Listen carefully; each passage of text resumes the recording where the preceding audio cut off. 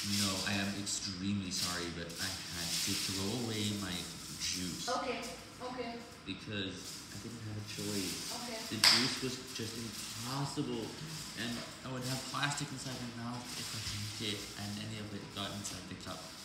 So I had to throw it away,